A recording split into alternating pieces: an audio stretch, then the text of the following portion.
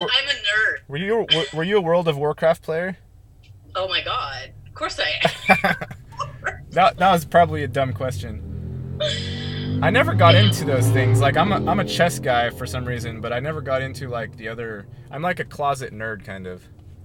yeah, you like the um the Dungeons and Dragons probably prior to you know when or like No, I didn't. I didn't. I didn't Oh, like any of that. I didn't like any of that because we were we were isolated. Uh, I mean, I have to be careful about talking about certain things, but we we grew up away from all of the normal uh, social media influence, and we didn't have a TV.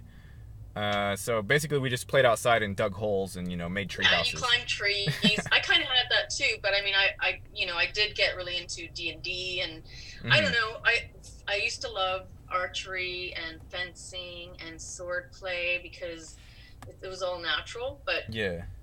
I climbed trees all the time. I was like a monkey. I used to collect, you know, frogs and take them to school, Yeah. and then let them loose. Oh really? Yeah, because it was uh, I was like programmed to be in a Catholic school, and I, and they were you know it was all programming. I hated it. Yeah. So I would like let all my frogs go or my snakes, and then I'd be like, I'll save you all, and then I would like, collect them, and then I'd get time out. you did this in a Catholic prep. Yeah. Okay. How, did they not react? They probably didn't react super well to that, right? No, they didn't. But they were so afraid. They were like happy to have me collect them Yeah. and then take them out to the pond, which, which meant that I got you know I didn't have to be in class for an hour. Yeah. Yeah. That's. Eventually, they found out it was me. but yeah, no, I I played yeah World of Warcraft. I was actually one of the um, yeah I've done crazy crazy gaming stuff. What can I tell you? You know, if I, if I was in a like a Catholic prep school now, I would be doing all those things, and you know, I I would something would happen. But when I was in there, then I was uh, still like really shy and being a wallflower, and I didn't talk to anybody. I was scared of girls, all these things, you know. Yeah, And then I didn't like decide, or I didn't decide I was going to talk to human beings until after I was like 18 years old. that's brilliant. that's I didn't talk until I was eight. Yeah. Yeah, I mean that's brilliant. That's a sign of like somebody who's actually like witnessing what's going on and thinking to Yeah. himself, I was just I was just watching, but then the thing is, is I, you know, after all this observing, I wanted to have somebody to talk to, you know, about all this stuff, and then everyone's like, no, no, no, that's all nonsense, and so I was like, okay, well, I guess I'll, I guess I'll I'll be, another eighteen years being quiet. yeah, I was like, I guess I'll become an alcoholic now, so that's that's basically what I did uh, for the about five or six years, and and now I'm just now I'm just here, you know, I'm not not an alcoholic anymore, but I'm actually freeing the tongue and you know talking about all this this these strange happenings. Well, I think you saw stuff um, from right from the get go. Like, I think you were mm, you were seeing a lot of things. I probably was, but I didn't have any frame of reference, and I had literally nobody to correspond with whatsoever. Yeah, which So- made it worse. And, yeah, it makes it worse because then you just think you're delusional or something, or you think, Yeah. oh, maybe you know, maybe all of my senses are completely lying to me. Then you try to turn into like a schizophrenic or a, a bipolar personality. well, the religious programs too, when you're put in them, they make it a lot harder because they'll demonize you. So, you know, you will then become the Antichrist or one of the, you know, you're just Yeah. so it's yeah. actually which is bizarre when you think about it because in in essence you think that if you look at the history of religion it comes from all the metaphysical stuff so why are they denying it you know why are they like it just doesn't make any sense at the very least go oh yes well this is the stuff that we were made out of too only we decided to go this route Yeah, right. Well, and I want to clarify first because there are people who I don't want to offend with religious stuff. Yeah. So I want to say first that I do agree with the Christ consciousness idea that is within us, but I disagree with the way that uh, the churches have been used to turn Yes. people against each other. I disagree with that. Yeah. Um, i totally agree but yes, uh, as far as what the church does, what I f- what I found out by myself was that it was built in a way that it gets stronger with attacking. Every attack on it makes it stronger. So you just don't. The only thing that doesn't make it stronger is maybe light humor. So that's kind of how I deal with it here and there. But I don't. Mm-hmm. You don't want to attack. It, it makes the beast get. bigger. Yeah. Yeah, it's like the fifth element, right? So the the planet of death is coming up towards Earth, and the more that they fire ammunition at it, the bigger it grows. I don't know about that. Is that a movie? I don't know about it, but the movie The Fifth Element, yeah. I haven't It's watched it. More like a documentary, but um, it is it's a movie. Yeah, yeah, like let's kill it, and then yeah, that makes sense. It just keeps. It just makes it stronger. Right. And that's exactly yeah what you're saying, which is true. And also the you know the Chinese finger trap. You know you tr- you try harder and harder, and it gets tighter and tighter as you pull. Yeah. It's Yeah. the same Oh, kind yeah. of it's the same kind of thing. So, and also when you have family members that are involved, then you have to just be careful. And you know, it's I just I know I know how it is, and I I uh, do my best to remain Well, that's why being quiet is good, right? Because then, it, you know, I mean, when you're growing up, you really don't. That's probably the best. I was, I had the same thing. I was like, I am not. I'm gonna say a single word because I am gonna end up in that funny hospital down there. uh, yeah. So I'm just gonna hang out with my frogs. Yeah, yeah, yeah. I mean, you learn early on, like, I don't know. I just, I just learned that whatever it was that I had to offer wasn't generally wanted. I did, I didn't even know what I had to offer, but I know that it wasn't, it wasn't liked. And then I, I knew also that the alternative, which I, you know, was trying to force myself to fit, also I didn't like that. So I was like, well, they don't want me, and I don't want what they're giving. So where the hell am I supposed to go? yeah. So Yeah. then you're on the periphery of something that you know, for in the meantime, didn't really even exist that much. You Ye- had to find it You become a wallflower. That's the solution. yeah, yeah, a very unique looking wallflower. Yeah, to to select few that are watching you, but Yeah, it's funny. to everybody else, you're invisible, as far as I can tell. Yeah, or you're shunned, right? Because they will make it uncomfortable for you. Yeah, Yeah. yeah. Well, anytime you're challenging somebody's worldview, then of course, you know, you're you're poking and prodding around, and they don't like that. Mm-mm. Just the fact that you don't fit in the first place No, is challenging their worldview. Whether they know that or not, that's what's happening, and they have to have some sort of a reaction to it. yeah, and I mean, if you think about, are, are we are we recording right now? We've been. Okay, so if you think about it, this is something that's really fascinating. And I used to talk. I remember I had this one teacher named Mr. Finnegan, who was really great because he almost was like a uh, a guardian to me because he saw all this crazy stuff going on with me and how difficult it was and and how the school kept wanting to excommunicate a kid. Really? like, he had never heard of that before. he was going to excommunicate the child. Oh, that's hilarious. That's really good. So, you know, he's the only. He's Wait, wait, wait. Was was this for like bringing frogs in, or was this something else? no, this is just because they would see all of this paranormal stuff happening that was, you Mm. know, around me. Like it was like wherever I was going, this paranormal stuff was happening, or it was coming out of me, or whatever, right? Okay, okay. And then they couldn't handle it. And of course, also because I was back then, I would speak out about their lies. I would say, "No, you're lying. That's not true." Um, things like that, because I did come in with memories. So, you even know, even as even as a child, you would do this. even as a child, I would do it. Yeah. So I'm They- sure. Well, yeah, that's not gonna work very. no, and they couldn't handle it. But you know, so while the school was trying to find a way to excommunicate a child, um, or at least have me spend the majority of my time with the principal or in the nurse's office, um, which is where I spent the majority of the time, a lot. Um, because they discovered that sending the priest didn't work because I would just refuse to speak to him and I refused to call him father. Mhm. Um, because I'm like, you're not my father, and you're no, nobody's father on this planet. like you're. like, no, Theor- theoretically, right? They're not supposed to be anybody's father. no, and uh, you know, they're not exactly. So I'm like, yeah, that's not going to work. So they realize that.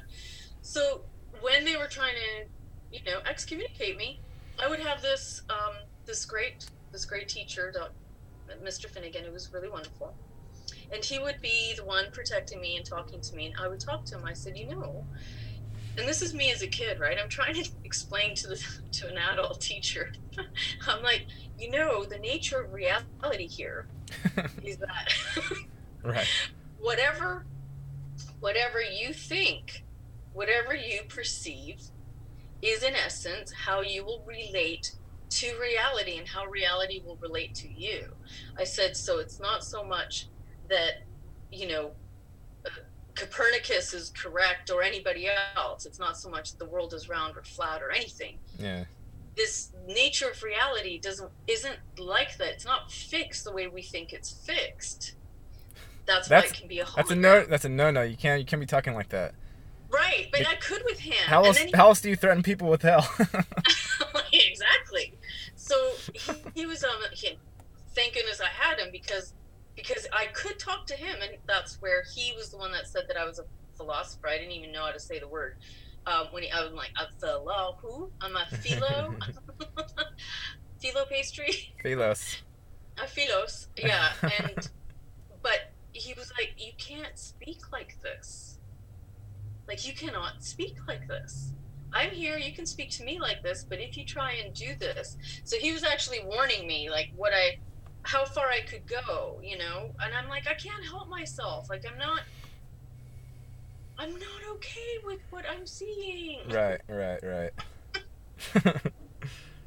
There are many what, and what did he say to here. that? Like, what did he say to that? He did. He just. He was He just trying to protect know. He you. was like, I don't know what to do with that. Because his, his mind, he goes, You realize that our minds are not like your mind and where you come from. And he's and he said, So you have to explain things to us like we're children. Because he said, We know that you even even the way that you relate to things and the things that happen around you, he's like, many people witness things that are are really typically scary for them because they don't have a means by which to be able to understand them. hmm So there's no basis. It's almost like, you know, it, it is kind of like in, in I don't know if you've ever seen the movie The Matrix, Uh, where the where the little boy with the with the was it a fork or a spoon or a knife? I think it was a little girl, but it was a spoon. was a little girl? yeah. it's like that. So if you get a kid who can bend a spoon, but nobody's ever seen that in their lives and they can't comprehend it, and it's how how you interplay and interface with reality, but nobody's going to understand it because there's nothing for them to understand. There's no uh, root. There's no reference point for There's it. no reference. Yeah. Right. So then you're going to go into all of the programs of, like you said, hell and you know all the rest of it. Like this is this is from the demon. This is like the devil. This is from uh, whatever. Right? This is madness. They're This all is- tied in together. It's very simple to see when you look into it. The economic system, the religious system, um, those are the main Yes. two. But the whole, all of it, the consumerism, those three, not only, and then add in the sort of caste system that has everybody divided against each other. It's a very like Yeah. simple thing when you actually look at it. But for some reason, I guess the fear programming keeps the vast majority of people from even wanting to take the first step because it's like I was saying before, it's like you got this giant ball of yarn and it takes one little tug to get it going, but that one Yeah. tug is like the most scary possible thing ever for most people. So Right. the ball just stays intact. Well, and which reminds me of you know because I was thrown into the Catholic school when I was young for programming. It reminds me of what they used to instill in the children, which was if if you start doubting anything, if you start questioning anything, basically this God that sits on a big throne will uh, he's gonna he's gonna get you with a lightning bolt. You know what I mean? And you're not Harry Potter, so it's not like you're It's not- you're, not just- you're not gonna end up with a nice little scar on your forehead. It's gonna be fried. right. But you know, that's those are children. Those are little kids, okay, sitting in a classroom with their eyes like Yeah. that's telling them, "Oh my God! If I think for myself, or I think outside the box, or I question you, I, I'm going to be incinerated." It- it's it's really it's really uh it's astounding i mean I, I i saw this stuff when i was i don't know i think when i was early 20s because when i was a child i didn't i didn't really i didn't like the bible very much even though it was around and you know we our parents had us read it i didn't really like it i didn't like how the the god was so like mean he was just, Mean. he's just an asshole basically just killing everybody right. And then sending his cohort to go kill more. Like, yeah yeah out there and slay that city. Right, right. And and I always tried to take this the side of well, there's a deeper meaning in the Bible and because if your family members are all stuck on it, then you have to make you have to make it make some sort of meaning. So that's what I always did. I was like, well, okay, it's mostly symbolic or all symbolic, and you know, get what you can out of it, like the golden rule or something. Like there are good things in there. Yeah. I, I, I, there are some good things, and and I don't, fi- I don't find the need to read it myself. Like I tell my dad, I'm like, you, you're a moral person from inside yourself, Yeah. from out the gate, and it has nothing to do with any rule set that's in a book or not in a book. Yeah, it's a moral compass that you have in your spirit, Yeah. and you don't need to be taught it. It's there. You need to be nurtured, and you need to nurture it so it has a form of expression because it's going to be the way it guides you through life. hmm If you can't listen to it, you're not going to have it as a guide. You're going to have other things replace it so that it guides you, Right. And which you, is why you- programming works. you were yeah you were taught you were taught to ignore your own inner teacher from the get go. Oh yes, punished badly because boy, I'll tell you, they really like to like to punish that. and they like to start when you're young because if they can't get you when you're young, right? This is why they have the education system. They get you when you're young. It's like Hitler said, right? You got the nation then. You can do what you want. Yeah.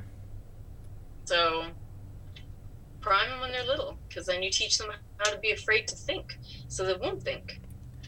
It's just not it's not a pretty world that it creates. I mean, No. it's it's a world of drones and zombies and and you know I I for the longest time I didn't even believe anybody else existed really like it felt like I was simply just wandering around and you know nobody was like me whatsoever so I just might as well just keep wandering because what else are you gonna do you know but That's then actually pretty brilliant. yeah but th- but then like uh, I I finally started making the videos when I broke up with with the wife and that was a big turning point in my life and I kind of became free at that point to actually be myself whereas I hadn't done that for the entire time. And then I was like, "Oh, there are some other people. Like there's there's one in this city, there's one in, across over in Iceland, you know, like there are some over there are some some out there, I guess, but But don't you think it's fascinating what you said? Um, where you questioned whether there was anybody else really there. yeah. Because that is a really, really important question. And I not to freak people out or anything, but that says that you're able to see through the hologram in many ways and how even people relate to it. Mhm. So, and this is what go, it goes back to the nature of reality, right? What is the nature of reality? How does that, how do we interface with a technology that is so sentient that it essentially it is it is creating what we want it and what we perceive it to be and so if you mass consciousness together with that then you have this what what people think is you know this is why this is why whenever somebody says let's prove something in this in this realm it's ridiculous I know. uh, whatever that is but right? you but you can't you can't do anything about it like you know because i'll sit here and i will i will take like a thousand different stances over one uh, little argument and I'll, i will prove each of those right but then Right. like they won't I, you can't translate that mindset to somebody who doesn't have it. It's, it doesn't doesn't go. No. No. Be- and because I, I even struggled with this concept that I would I was a fence sitter because I, I was accused of that before of being a fence sitter because I wasn't always like holding these firm like political stances or things. And I was like no I have a very distinct uh, stance within all of this but I also have the ability to see all the sides and all the angles. Right doesn't And- mean doesn't mean that I agree with all of the terrible things and this and that but it means that I, I'm aware of what's behind them. And you're actually you're looking through all of them. Mm-hmm.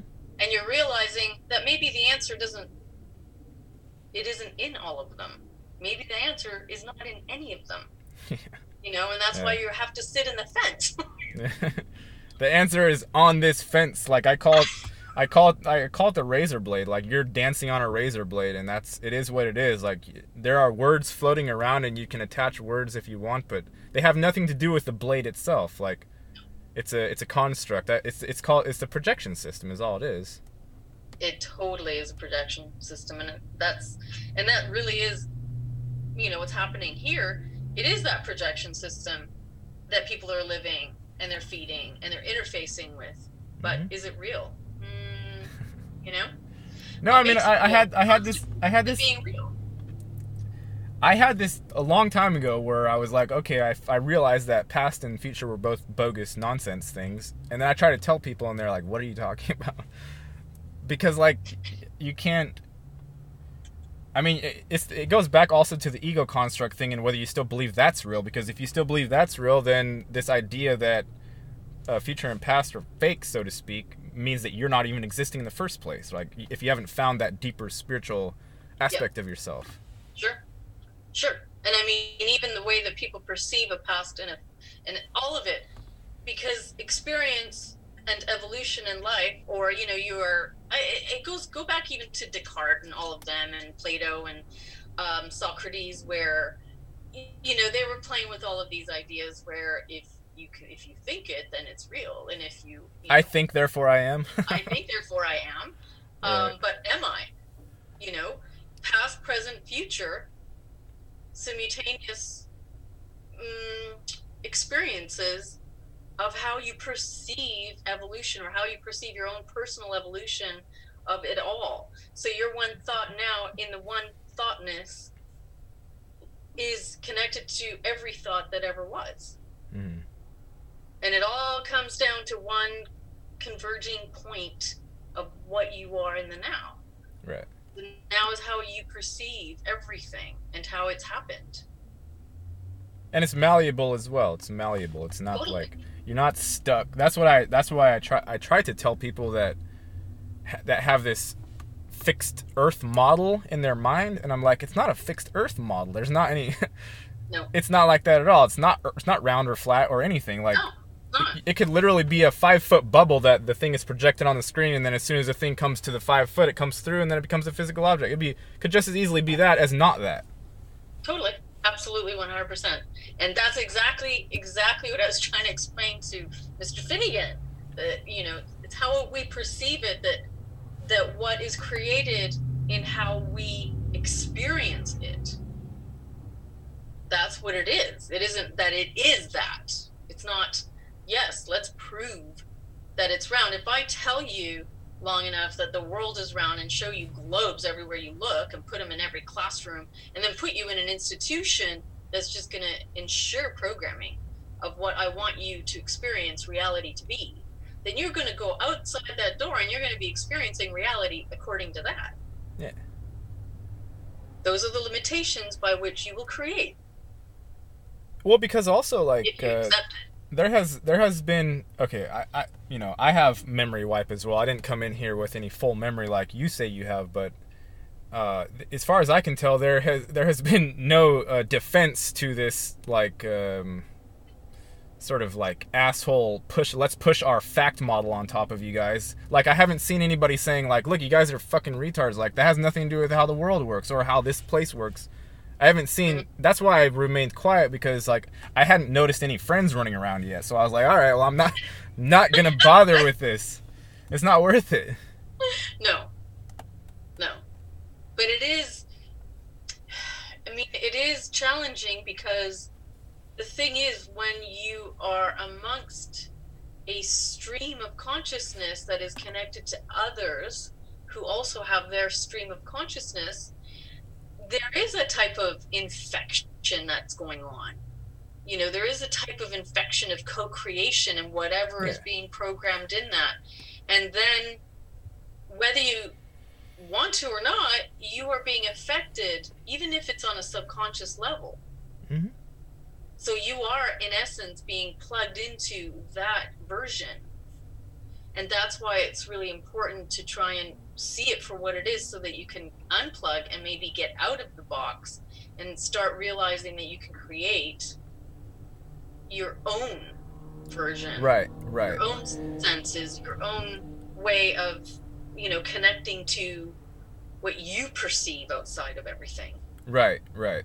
And that, that I think that's an, a very important point because depending on your level of fear, really depends on your level of how much you believe you're actually influencing. Because you might as well just believe, well, I am the the Almighty Himself, and I can manage all this stuff. And maybe that's incorrect, and you try it out and it doesn't work. But it's it's how much fear you have leading up to that depends on whether you're like a peon or a pawn on you know the black and white or you're a, a slightly larger player or you're just totally involved with all of it and you're maybe have no label at all who knows like but you could be any of it it really doesn't matter or maybe you decide to be you know like a nomad just like um you know kung fu. Uh just like you know people who who take on all of the elements of creation and then just test everything and they just do and, and they don't they choose not to live with that fear. Yeah. Because what is there to be afraid of?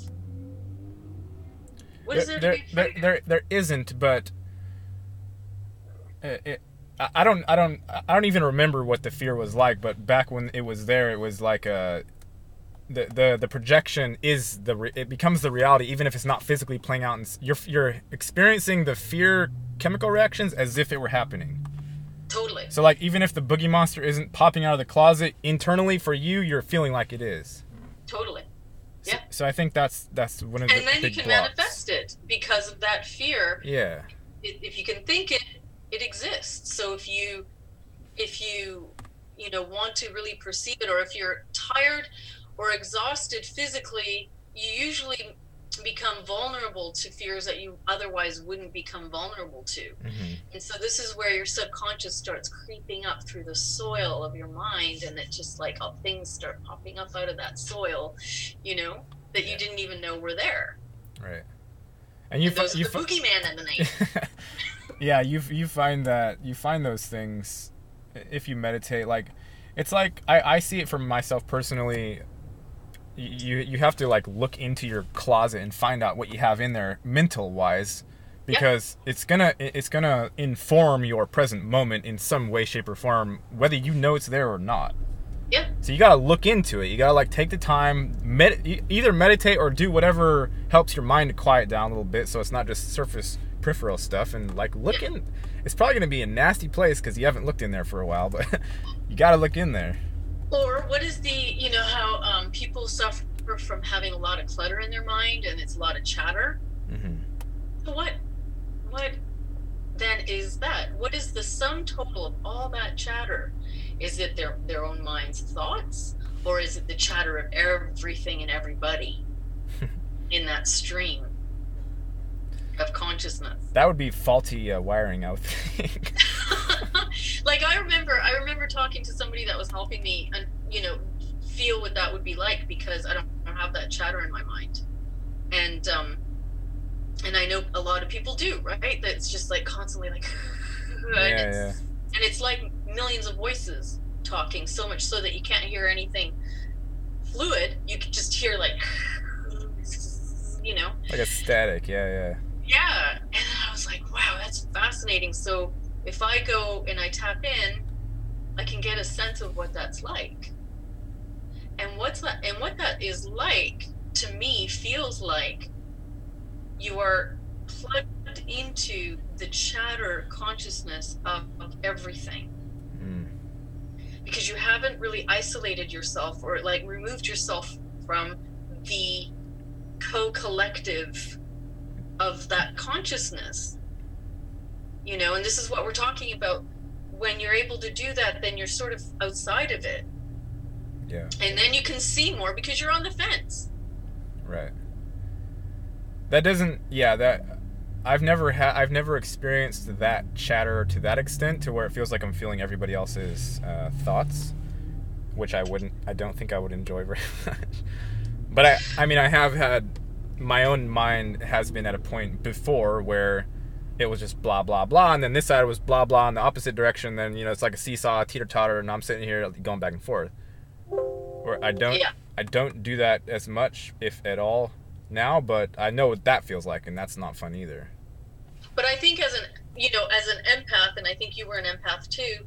Um, you, I think we suffered. I know I suffered when I was a child of not being able to um, I didn't even know how, how to deal with it because because it was like being pulled into my my membrane. It was being pulled into my own my own membrane, so that I couldn't keep it out. I had to learn ways of um, utilizing energy to be able to keep things out because I would actually literally feel what they were feeling, see what they were seeing sometimes, Hmm. and experience what they were experiencing. And if I was in a mall or in a public place, um, I I was autistic. It was making me autistic. It was that bad. Like it was like Like you just couldn't focus on anything, and you're just like all over the place. yeah, it was like I couldn't even um like I, I really really had to learn how to work with energy because it was so it was battering me. It was assaulting me so badly Huh. that I couldn't at times it was blinding me. Like I was actually being blinded. You know, if, for me, I was not always empathic, so to speak, and I still, even now, wouldn't necessarily say that I'm empathic.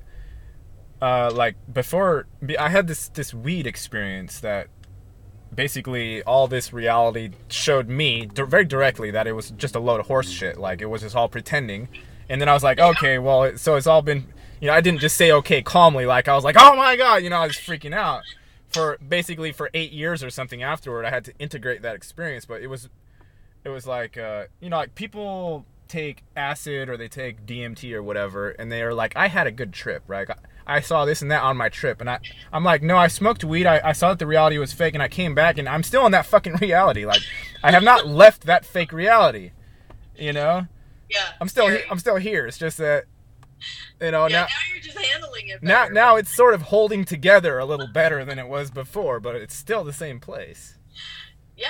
you And know and that's more real. You know, because because it is like some it is a dream. This is a dream. Yeah, this is a dream and we're all dreaming and we're dreaming it according to you know what we've agreed to connect with in dreaming. So, you know, you've connected to every single being that you've ever known from the beginning of your inception, wherever that was, okay? And then eh, in every connection that you made, you agreed to dream the dream in that way. sure So by the end of so many billion connections, you know, and dreaming the dream that came from an original dreamer. So it's both our dream and somebody else's dream or something else's dream. Yeah, right. There's definitely a, an aspect that is not my own, so to speak. Right. Right. You know, and here you have it. This isn't real, really. It, it is, you know. This is why, you know, you gotta take things with a grain of salt and and not really, um, and not to not to say not to minimize anybody's experience of it, but but I always take things with a grain of salt because I have to. Because even even in school, right? I'm like, oh, this is bullshit. um, but you know, according to to this dream, I need this kind of a certificate to do this. Right. All right, because that's the that's the rules here until I can no longer need this part or this aspect of it. So okay, I'll do it. I'm in there, but I play with it. I play with reality and I challenge everything and I mm-hmm. push it to the limit. I push things that most people would be they would be scared shitless to do because they would think that they would get kicked out yeah, right, right, right. or that they would cause something. But I always push the envelope and I just play and I see how far I can take it because I know this is really not real. I mean, it's real, but not real.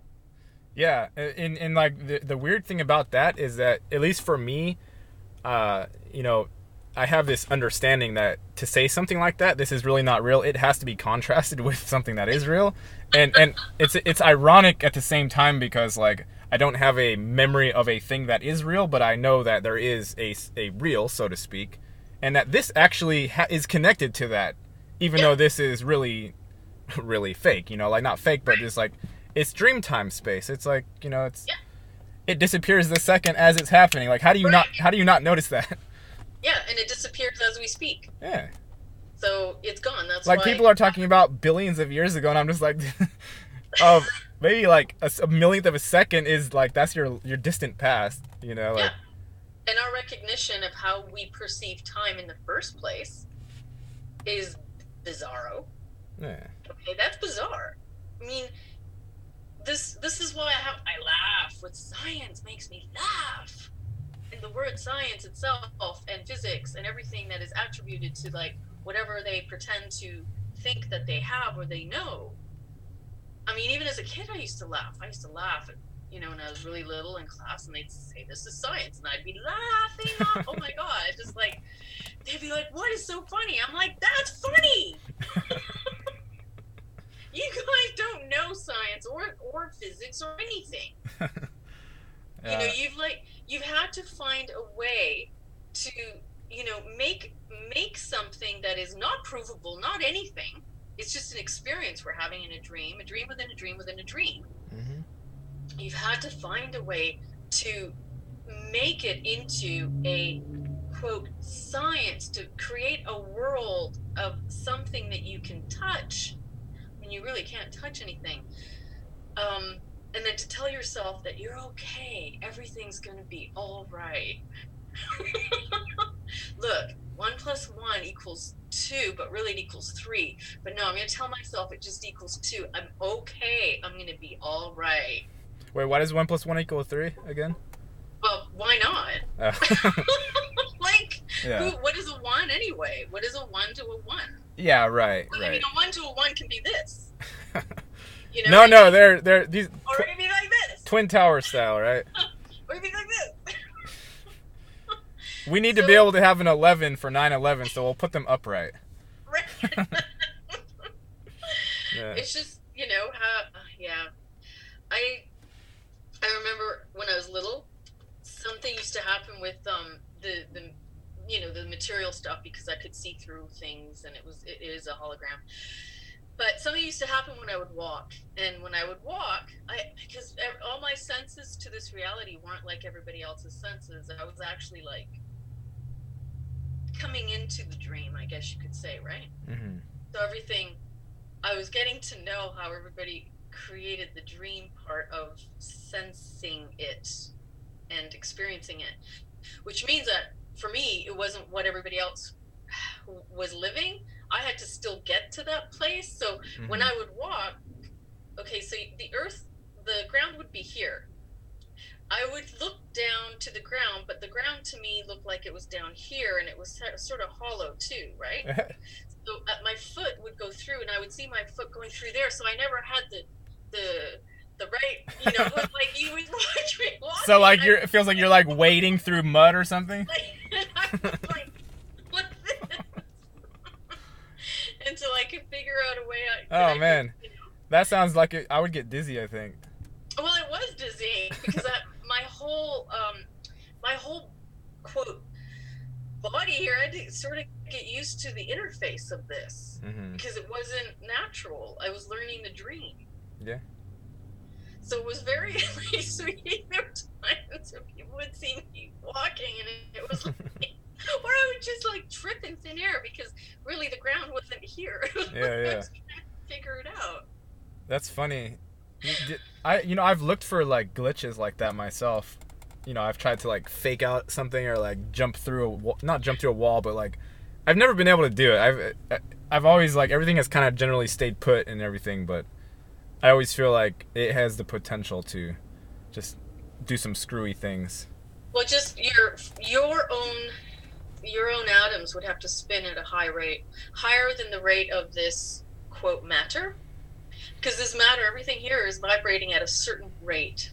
Mm-hmm. So what's happening now with the universe or the infiniverse or whatever, um, it's all um, increasing and accelerating. So it's changing the original frequency of everything of all matter.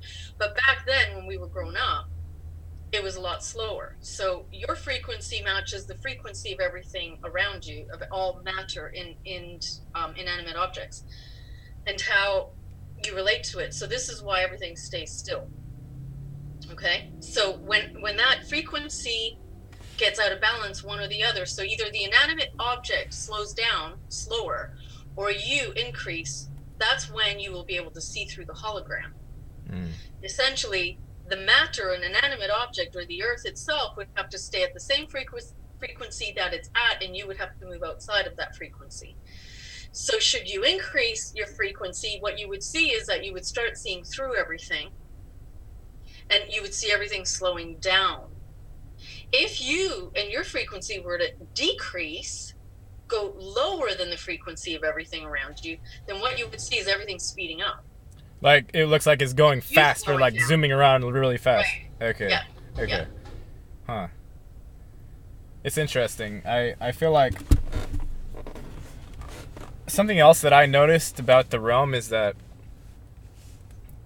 the there's something about motion and things moving that the the given perception is inaccurate to me. It's it's there's not an actual like motion happening. It's some sort of it's some sort of trickery. I just I just I don't know how to explain it, but Yes. there's there's to me there's just a stillness really and the the dream is somehow sitting it's making illusions within that. Yeah, within the projection. Yeah. Totally. I would agree. Yeah. I would agree. I mean, even our concept or, you know, the, the generic information that we've been taught or programmed with about planets and our relationship to galaxies and everything else. It's all, you know, not exactly as really as it is. So I think you're completely correct. But the truth though the truth the truth. Yeah. it's just words like the words are they're, they're so silly. I mean I remember I, I I tell people like there was a point in my life where the spell like snapped off. Like it I felt it break inside of me And then I was like, "Oh, the, the, oh okay, okay." So Was the- that before the weed? It was a- no, it was after like or or in between like a whole a bunch happened in that experience, but once I came out, there was still there was like a, a slower learning. The weed thing was just bam, bam, bam. Like every part of me got ripped apart, and so, when you had that experience with the weed, did you like what was your relationship at the point of the experience with how you were seeing everything? Like, so what what was it that you were able to um, actually see? it, I I I always kept like just it, it, there was always a visual sort of thing going on. So like I didn't ever go into blackness or ch- or I didn't ever go to another dimension as far as you know I've heard of them. Yeah. But what I did realize, number one was after I first had smoked it, it was a giant bong, and I took like two massive hits. Once I Yeah. felt it coming, I was like, okay, there's a freight train that's gonna run my ass over like in five seconds. I could feel it coming. I was like, take it back, take it back. No, I, I don't. No, no, no. You know, and like, and then, but it was too late at that point. So I mean, I got ran over basically, yeah. and uh, Whoa. yeah, but then like I I I ended up at one point, and I don't remember very much of it, but at one point I was touching my girlfriend. We were like holding hands or touching or something, and I literally just went into her. Like we merged completely, and I freaked out even more at that point because I was like thinking I was the body the whole time, and I was like, so like I I completely disassociated. I think at that point.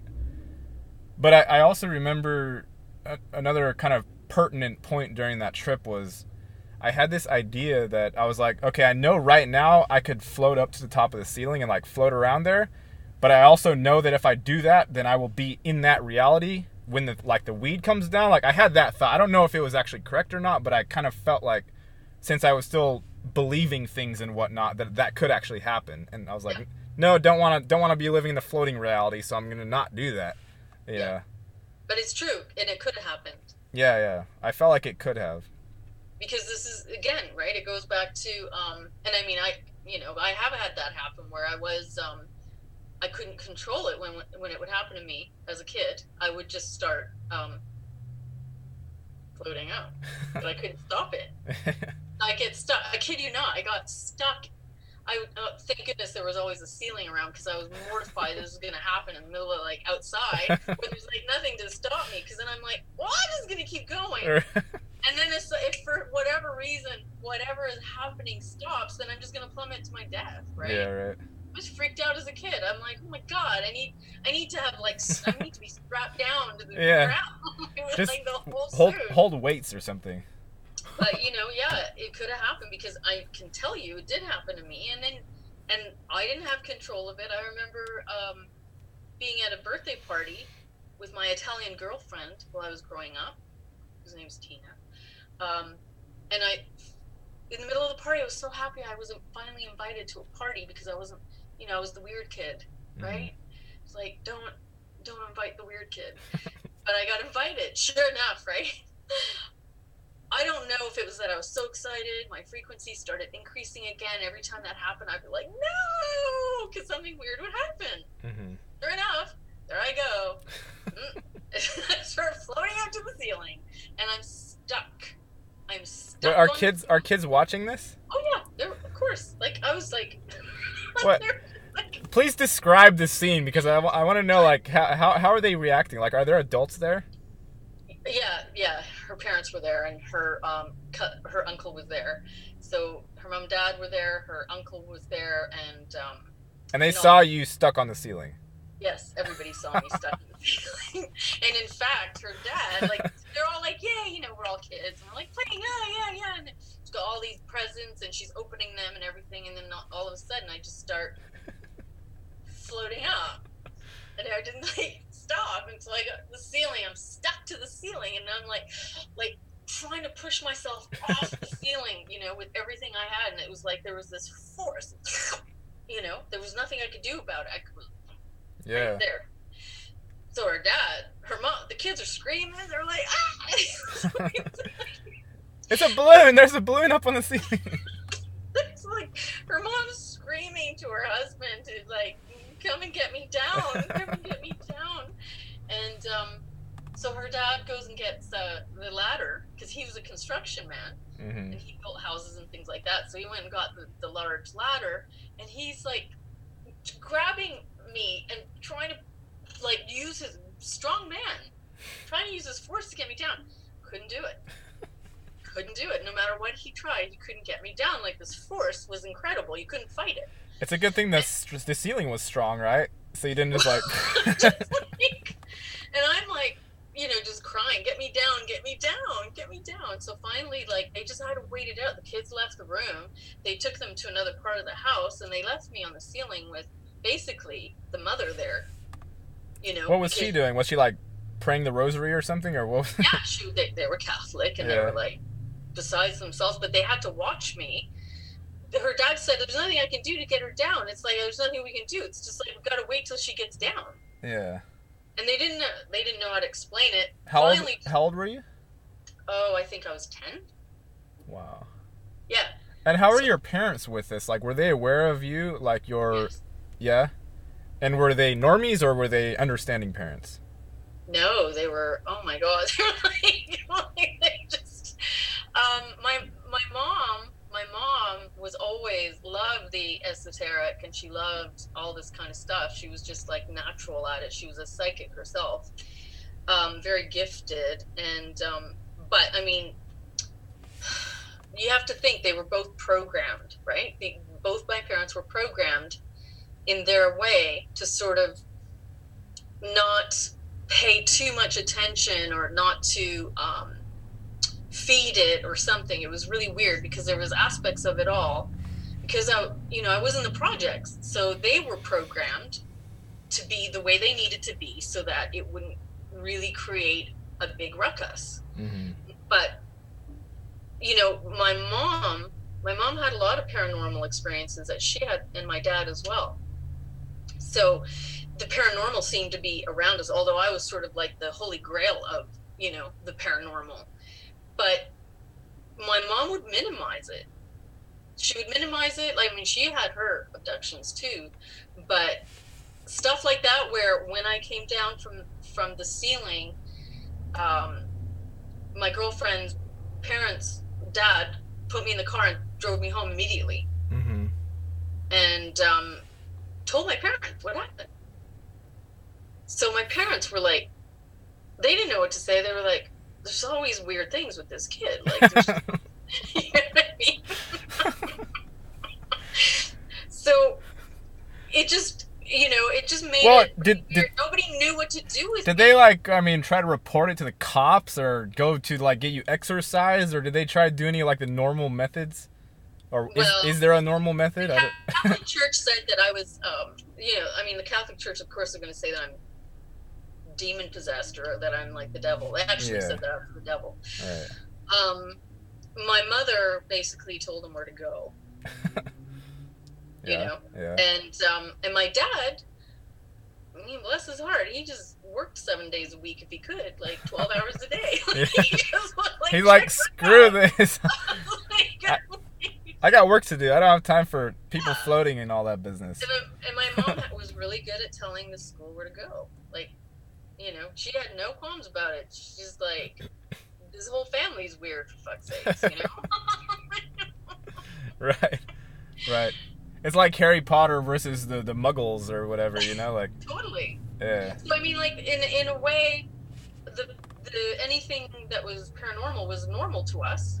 But we were in a community or in a society that wasn't, but I was just that much more that level up that even my parents didn't know what to do with me. hmm So, Do you have siblings? yeah, I do. I have a sister. How, how is she? Uh, sh- she's amazing. Yeah? she's uh, gifted as well, Yeah? and she wants to remain hidden. Okay. is she similar as you, or does she have her own, like, very unique sort of abilities? Um, she doesn't have any of the uh, exterior abilities that I was in, and the things that would happen. She was very much normal, actually.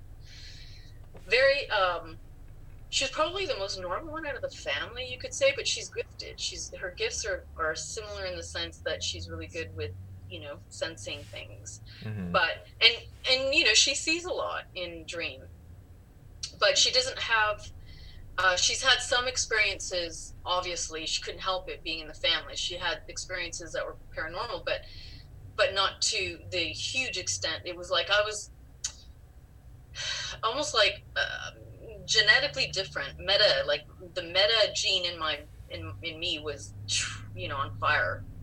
So i mean it was just things were didn't matter where i was really. Yeah. especially as a kid because i think what happens as a kid you're not you're not as programmed at that point so your the way that you relate to everything is raw and you're just you know coming in with the memory that i came in with made it really difficult for this program reality to program me How old are you now? um i'm You don't have to answer that if you don't I want. am i am ageless okay. Okay, okay. That's totally that's totally fine. I could probably make a guess. I, yeah w- I won't though. well i think a lot of people already know how old i am but You're like a, a billion years old. i'm a billion I no, because billion years, maybe that doesn't exist. So I always say I'm ageless too. Yeah, we are ageless. I feel like I feel like the concentrating on growing older is like literally what causes your face to wrinkle up and then you start shriveling and you're like, I believe I'm gonna die. And then so you shrivel some more, you know? Alright guys, Right. see ya. I'm going out. but this is why they have hospitals. This is why. Well, also they have hospitals because they want to track everybody's blood. But you know, they have this. The society has been has been designed in such a way that it's subliminally programming you to what it wants you to believe so that you start doing it all on your own. So if I put a hospital there, if I put old age homes there, if I put you know, if I just put society in such a way that I'll have you age yourself and get sick and everything Mhm. because that's what it's telling you, then you're just going to do it. Yeah. You know, and then I, I'm just going to make your quote, you know, hologram body uncomfortable. So I'm going to make you struggle so that you're going to want to go somewhere else or you're going to want to, you know, get old or something. Right, right. All programming. You just make you just make the present moment uncomfortable and then provide a solution. Right. And here's the solution. Look at that. You got a hospital to go to. When you enter those doors, guess what? Then you're going to get other stuff you you want the latest illness? Go to the hospital. there you go. They have all the newest models there. Yeah. Just think, okay? So if we if we reformat it the way that we have created society to match our frequency of living sentient being, our frequency of, you know, preventative uh, means of actually actualizing that we don't age and that we don't that you know we don't get diseases really um, if we actually formed society to suit and match what the truth is of how we experience creation, my goodness gracious, would you ever be seeing a different entire realm of Yeah. like splendor? Oh, I'm sure. That's another trick is that heaven is like somewhere else. It's like Yes. no, literally Yes. every dimension is here. Like they're Yes. they're all here. Every one of them. And the, this, the the talking about heaven being over there is what keeps us from being there. Right. Because it's here. Everything's here. Yeah. And But- so this convergence of the event horizon, it is everything converging in people's minds and consciousness converging into this point, this cell point of existence where everything is, every dimension, every density, every every realm, everything. Yeah. You know? So after you had that experience, um, did you ever smoke weed after that? You know, while I was in it, I told myself many times over, I was like, Gary, if you ever get out of here, you're never, ever, ever, ever going near weed. Ever. You know, because it felt like I was in there for all of eternity, basically. Like it was a endless, like, the, eh, it, to, it was like mental torture, really. It wasn't anything like horrifying, like watching people get mutilated or killed. Had nothing to do with any anything like that. It was a literal mental torture progression that seemed to last forever. And uh, when I got out of it, uh, my memory was blocked. And the only thing that the only thing that I wanted to do at that point, well, I didn't. It, it wasn't like this burning desire or anything, but I was like, well, maybe it wasn't as bad as I thought, so I should try it again, you know. And that I'm sure that's just the, if it is if it is some sort of energy thing or parasitic thing, that's how it gets you to come back. Yeah. So I went back, and then it wasn't ever as traumatic. It wasn't as bad. It didn't go as deep, but it it always carried like the initial sort of feelings of that sort of grabbing that it does, and it it, it turns you into like a. It's bad. It's not good. It's it's the worst thing that I think any mind can experience. Yeah. And I know I know I'm saying it's weed, but it's Mhm. not weed. It's a literal like a construct that a mind can go into that just like almost destroys it. It, it doesn't work good. Yeah, yeah, yeah.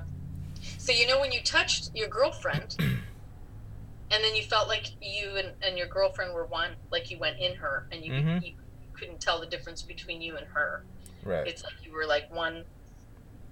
Yeah, it. I touched her and then like it went whoop like it. I mean, it, it like just like a if you had one blob and the other blob and they come, they're like, what? and it's like okay, well, what? Like you're like you don't know. Like there's nothing.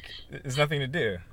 But I, I think you actually did that. I think you, you know, because this is this is the other thing. I think that that is what happens when you think about it. The idea of separation is also is also an illusion. So everybody is experiencing a part of the dream, and it's sort of the part of the same dream mind, kind of in Yeah. a way. Right. So we're all one, really. When you tear down all of the false constructs of quote the matrix mind, then you would experience that very thing where you just it's like all everything becomes a blob and everybody just is the one blob. Yeah. Yeah. Yeah. It was something like that, and like that that initial kind of blobbing of me and her. That was like the first thing of a whole bunch of blobbing. And, and none of it was very fun but like in my uh, you know this this mind here can't retain very much of it because it was such like a it was such So- a thing you know like it was i don't know maybe i became the whole thing i have no idea all i know is i'm not that anymore but i still retain like a decent bit of the memory of it yeah. it was yeah it, was something else I mean, it's a good thing it was weed because if it would have been something stronger, I don't know, would you have come back? You know? i don't know i don't i think my mind is just really sensitive i think that's all it is i i, I don't I don't know what it is, but like at first I thought, oh, maybe the thing was uh, laced with with L- LSD or something, but it wasn't like that either. Like I couldn't find any good. I, I I went and researched all of the you know experiences, and I didn't find any that really exactly matched that one. So I was like, well, I guess my mind is just strange and it's very sensitive, and I shouldn't ever do anything. Yeah. like that whatsoever unless I want to go like go on a sojourn for another eternity and then come back who knows when you know Exactly. so uh, Well, and I mean, you know, that would be a precursor to you playing with energy and the nature of reality anyway, just like the um, the yogis or whatever. I mean, they have time to do that. See, this is the thing. If we all had that kind of time to play with the nature of reality mhm. and energy, we'd be levitating normally. We'd be doing Yeah. all these sorts of things. right right yeah and and um it's like you know, it's like Og says. He's like, you know, you guys, the basically the cage door is open, but everybody's traumatized and scared to go out into the grass. Like that's really all that's happening Yeah. here. It's nothing. Yeah, so everybody's like, I like my cage. I Yeah. like it. Yeah, yeah.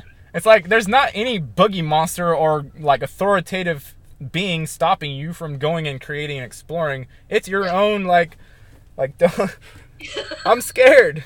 You know? That's, that's all it is. Yeah, and even though the grass is beautiful and green and the sunshine is out there beautiful, the you know the Like the sun is real, it's the golden one. It's not like this white it's not the simulator. Yeah, Yeah, right, right. I know. But it's I mean I don't know. We because we don't know we don't know the states of all the people that are out there and we don't know, you know, how many there are, you know, true like co-creators. We don't we, we don't know that. At least I don't know that. I I can sense if somebody is that, but Yeah. As far as numbers wise, it seems like very few. You know, I, I can't put an actual number, but it seems very few. But and I also think that what's happening is that everything that's happening with these waves in the multiverse, infinite verse of the mind of the infinite verse, it's expanding the not only the um, the original natural blueprint of our consciousness minds being in body, but it's expanding the consciousness in itself. So not just the DNA to match the consciousness that will be able to perceive these other elements of quote the dream reality Right. becoming more real because the DNA is going to match the consciousness. Okay, so the dream body has created a body that we're experiencing everything through, but it matches the consciousness DNA itself, right? So when that's fixed, and it is fixed to a, to a degree in a co-consciousness that we accept what reality is so we need something to come in and expand that in order for us to be able to go through the changing. It's like the quickening. One, and that's what we're going through now. We're going through the quickening. When that happens, it's not just the DNA body that we have or the DNA dream body, but it's the DNA mind body that is expanding. And then through that expansion, people are going to be able to perceive other realms of reality that up until now were not even accessible. And this is why um, we have the situation in the dilemma um, through the population or the known population. We don't even really know what the real population is of um, of you know people here that they're selecting to believe the state of consciousness that so far is rigged inside of them Yeah. hence you know they can't expand unless they're really genuinely being expanded Right, right.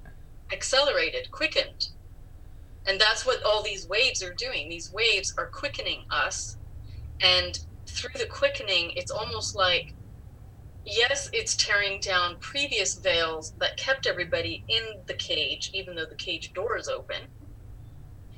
Once enough of those veils are completely um, dismantled the consciousness itself is going to be able to expand to meet other levels of reality and our DNA to match that. Yeah, yeah.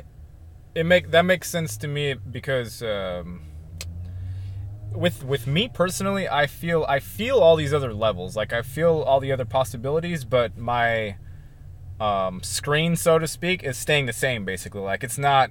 You know, Yes. I I complain sometimes. You know, mainly to myself, but to other people that understand. I'm like, how come my my screen's not ever changing? Like, how come cool things aren't happening here? Why do these people all do the same fucking thing and go in the same patterns and Yeah. noth- nothing interesting ever happens? And I'm like, like, no, Yeah. I don't want cataclysm, but I would like you know the creativity thing to to come in a little bit more. You know? Yeah, and that's and that is happening, and that without without being pushed. Okay, and this is and this is the thing. See, the projects they know that they have to stress you out in order to pull out the metagenes from inside you. so that they display themselves. Otherwise, they'll stay dormant. They're quite happy to be dormant. so this is and this is the case with how we experience reality is that we are happy to be dormant. Mm-hmm. We're happy to stay in the same cage. So long as it's not hurting us, right? Like right, right. So long as we're relatively comfortable and cozy, you know, we're like, yeah, I'm snuggly here. I'll... Like, yeah, I bought a new pillow. You know, the bed looks really great. Whatever. right, right. But but you stress, you stress the DNA. You stress what's in there, lying dormant, which is you know your metagenes your your true gifts your abilities you stress it enough it'll come out but it has to come out through some kind of pressure stress or whatever the waves that are happening are stressful they're whamming us on a like subatomic atomic level going through everything just imagine an mri it's like we're being pummeled through the mri of our being mm-hmm. and it is stressful but that's how expansion is happening. That's how, you know, your backdrop may change. Your screen will start changing. But it isn't through being comfortable and being dormant. I mean, we're being pummeled. yeah. Yeah, I mean, I think so long as this the the changing is done in a fashion that is uh like tolerable to the being, then fine, then so be it. It's it's it's when uh, you know, and and the, the, thing I went through obviously did something for me. Otherwise, I wouldn't be where I am now. But I wouldn't recommend anybody to do that because that's very super traumatic, and you know, who knows if I would have even came back from that. Like I, I feel like that was a yeah. Well, I think some people wouldn't have. Yeah. I think there was a possibility, you know, that that, and I'll tell you, you know, there was an experience that I had when I was 14 that kind of, you know, I can totally relate to it. So I was 14 and where I lived in Ontario, southwestern Ontario, every year in September there would be this fair um, that would happen. And I went to the fair, and of course, like all the kids were, you know, they were always um, pretty hard on me, and they were always trying to get me to smoke pot. Mm-hmm. Um, and I never wanted to touch drugs because drugs scared me because I knew I was always having a hard time staying in my body as it was and having stuff happening. You're like, I'm I don't need more help here. I don't need more. so, but they were really, really cruel, really um, forceful. Anyway, so I went to the fair and it was um, with a group of these kids that were older um, that were connected to my sister, and we went inside the planetarium. Okay so that in itself, just me being in the planetarium in itself was like, oh, oh this is like I'm high already. it was like a, you know, I can go into things easily. So, yeah. so of course they were handling handing a joint around, right? And I'm like, no, I don't want it. I don't want it. I don't want it. And they were like, take it. you have to smoke it. and I'm like, no, but I don't want to. Wow. And they're like, do it. So I had maybe like, you know, two tokes, you know, because I really didn't want any at all. Mm-hmm. But I didn't know this. It was laced with LSD. wow. Very, very, very bad, I have to say. because what happened next, well, yeah, that was really bad. Was and it similar to what, what I what I experienced, or was it on a different level? No, no, it was very similar to what you experienced. Yeah. In fact, in fact, the the thing was that I went right out. I went right out to ev- like to points of every spark of creation, and I couldn't find my way back. Yeah, yeah. So, like, the spark of creation, I was hitting, pinging all of them, and it's like fire. It's like fire that ignites, and I was like inside it and it was all like connecting to every other one and i was like gone. Yeah right right. just gone in it all. Like i'm it, it all of it i couldn't come back. Uh-huh. And then i guess what happened was i'm running through the the fairgrounds screaming because i'm like i'm not even there. But my the body was like ah! and then i went into a coma for four, four days. Wow Wow, so, so, you you you you went further. Like you went, uh, you almost did get lost, huh? I almost. yeah, yeah. I mean, I saw the possibility for that because it's it's such a disintegration of the uh, the identity, even the identity that's beyond the ego complex. I mean the identity, the spiritual, the DNA, ident- all like every All of it. all lifetimes, like everything, like All of it. yeah, you can But go. We're not even there. Yeah, you can go just like zooming out into space and like you can leave by behind every every every everything. And, And and that's what I did. I was zooming Yeah. out there to like every spark of like everything that ignited. I was like out there. Yeah, yeah. not that's not probably not the most uh, fun. Probably kind of scary, right? Oh, it was terrifying. I think I think the coma was what happened to protect me to try and get me back. mm. I think if it wasn't for the coma, I probably wouldn't have come back. And So- uh, how did you come out of the coma? Like, how were you coming out of that? Your mind. I came back like like like that. Yeah. Yeah. After after four like days. I, like I just come out of the experience. oh wow. I didn't know I was four days in a coma. I didn't know. Oh wow. Okay. So it was li- like literally taking a deep breath like that. and was there was there a long integration period for that experience, like years afterward?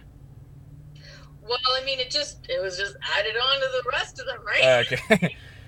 okay, so yeah, it was it was different for me because I didn't really have those. Like I didn't I wasn't like uh I didn't have supernatural things happening all the time. I was I was pretty normal kid, you know, like we're all smart and we're above average intelligence, but we didn't have like we had the an occasional poltergeist, the ghost banging on things. And that was just turned out to be the That was like the cat, like it wasn't even a ghost. So like Yeah. it was a poltergeist cat. yeah but like yeah i didn't i didn't even I, I was not even privy to any of this stuff until that experience it was exactly like all of life was totally normal and then i smoked weed and then i realized that all of it was fake and then i came back and i was pissed off you know i was like i was like why are you guys still doing this why is everyone still like why aren't we playing or something like why why is it still going on And why are we? I- why are we pretending all of this? all right like if you're gonna pretend don't pretend that you're in pain you know But okay, you know, I think that though you realize a lot of stuff, you just didn't talk about it because you had a totally normal upbringing and you were all above average in intelligence, but you really didn't have anything physically around you to be able to give you indicators of this other reality besides the poltergeist cat. But and we didn't like that like that was scary we were like no did you see things move? no i mean like no we were so normal we were ridiculously normal was, Right, but I mean, even though you were ridiculously normal, I'm, I am certain that you were like, "Ooh, I can see stuff." Well I like, like I, I didn't I, I never took the stuff seriously for some reason. Like i never took the, the the programming very seriously. I always i always wanted to just mess around the whole time even as a child but then like i had the weed experience and then i, I realized oh i should have been messing around a lot more than i actually was. You know? Yeah, and then that's yeah that's where i that's where i am today. It's like i'm trying to bring the play into the realm right. and just to show the people like what's a small fraction of what's possible i'm not trying to like freak people out just give like a gentle introduction into like this place is different than you think it's just different that's all there is to And it play with it. Yeah. Play with it. right You know, I'm always playing with it. I'm always like, and you know, people around me, they're like, "Oh, oh my god, oh my god!" You're like, "Are you afraid to get kicked out?" Like if I did that, I would get kicked out, or they would call the police, or like something. And I'm like, "No, wow, come on." yeah right well i mean look at the look at the harry potter story like that whole story they're challenging authority the whole entire time. That's what made it interesting. Like if you imagine you told a story about like something that went on here in this realm like it'd be the most boring story you could possibly imagine. It'd be like all the kids walked in and sat down and they didn't say anything and the teacher taught and then they walked out and had lunch. Yeah, you know? It's- Exactly. it's like no no you guys like make your school into a harry potter school or make something do something. Yes, exactly. Instead of like what it is, which what it is is to take away your visual ability, your imagination, and that's what I was warned about when I was young too. It was really interesting because, um, you know, because I could do. I mean, you know, for fun when I was a kid, I would I would like move stuff with my mind. Mm-hmm. It's like sit there in my bedroom and I would just move my pens and I would take all the cutlery from the kitchen and I would use it, but then by the time I was done, it was all bent and stuff. My, my mom would get really upset. She's like, "Can you just leave the cutlery alone?" Um, you know, but that's really funny.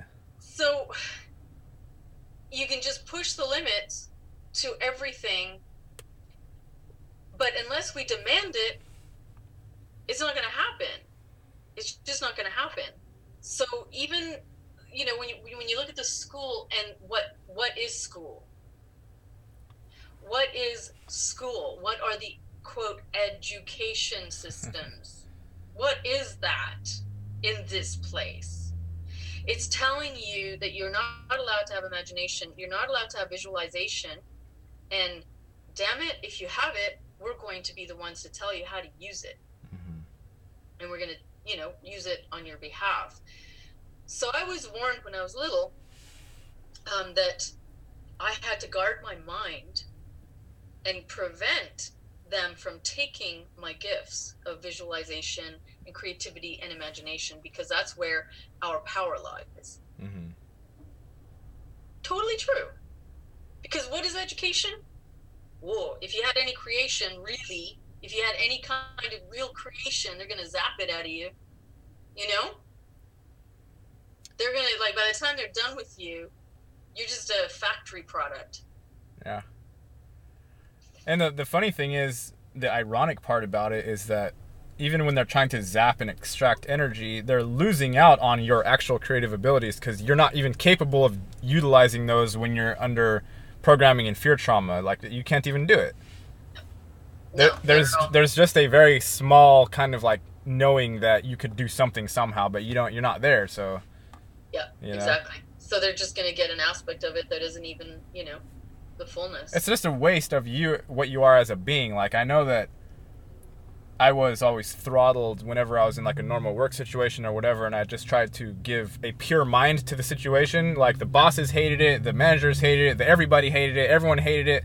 Nobody understood what the hell I was talking about, and I was like, okay, like I was just trying to say something. Okay, I guess you I guess you guys don't want that, but you know, I always I always felt like I had some some value to give, but I didn't ever have an an audience or any appreciation until literally like one year ago, and that was the whole entire life.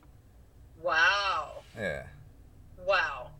So like when you would do this at work, and you would be very objective about it, right? Yeah, I was always fair. Like I was always very impartial. I was like this and this and this and blah blah blah. You know, like and it was always it always went down to the caste and hierarchy system and that I should not be opening my mouth basically. Did it ever occur to you that you threaten people like so that that you have something they sense which is very threatening to them. So and it's threatening to the bosses. Did it ever occur to you that that you are yeah it did it did it occurred to me that i had some sort of some sort of something but i yeah. i didn't uh because like i told you before like I, have always been isolated so i i didn't i didn't even want to move basically in, unless i knew i had some sort of support somewhere i didn't yeah I, I was like i don't want to just start moving here and then I don't know. Like I envisioned sort of bad things happening if I went too far with, you know, did you?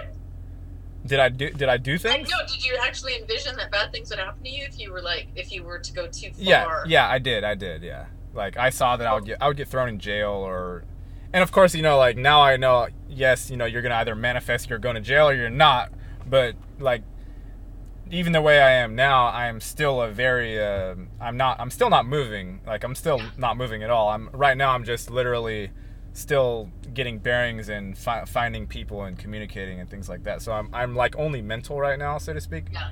But at the same time, like I don't. The realm is not even ready for anything yet, so like we gotta we gotta prepare that first, and then you know then you can very slowly start doing something. Exactly, which is what we're doing. Yeah. With the with the help of also these new particles that are coming in and you know helping the transition and the acceleration and the quickening Yeah, yeah. I, there's there's definitely new energy, and you, you can tell on people's people talking on the the forums and just the comments in general. Like there is, it is outside of the sort of like there's two things that are going on generally speaking. That's like the completely robots, and then there is a gradation scale of like kind of sense something is weird to like nearly fully awake. You have that, and then you have like complete robots, and you know. Yeah. The complete robots comprise the majority of the situation, but if you keep your energy on the other side, then you know you'll you, you, Yes. won't, you won't go insane and feel lonely and all that. and that's a phenomenon all on its own is the um you know the robot aspect backdrop aspect of this whole reality system is fascinating Yeah, yeah. It's very, it's very. I mean, until until I figured out that that they were basically robots, then I. I think until you realize that people are different here, that like not everybody's the same, then you're just gonna be fucked up. Like you're gonna, your mind is not gonna work right because it's like.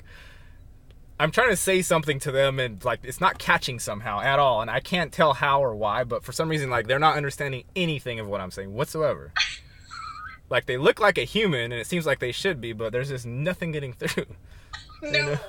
no there's no human responses to anything outside of their you know their program. The mouth will move and words words will issue forth. yeah their software yeah. The something is happening, but but they are remote controlled so this is why it's very fascinating when you see this how you know the simulation remote controls the backdrops to do certain things when a real steps into the situation. And oftentimes you will see that they're programmed to stress out the real or to create something or some drama to pull you in uh huh. I've noticed that that's dependent on whether you're giving anything to bite or not. right exactly I've So- figured I figured out how to give nothing for it to bite, like not nothing, but like as low level as possible, and then I'm like, oh my god, like they're leaving me alone. nobody, kn- no, no, nobody knows I'm here. You know, I'm chilling here. and, You know, nobody can see me. It's all good. Like nobody's bothering me. Yeah, and and so what is it about? See, this is the other aspect of it. What is it about our responses that when we feed or feed a reaction to them when they create these setups, and they're just a part of the simulation. They're the backdrops.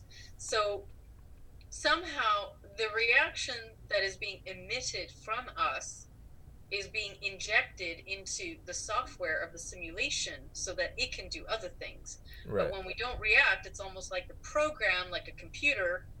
It thinks you're. It thinks you're another computer.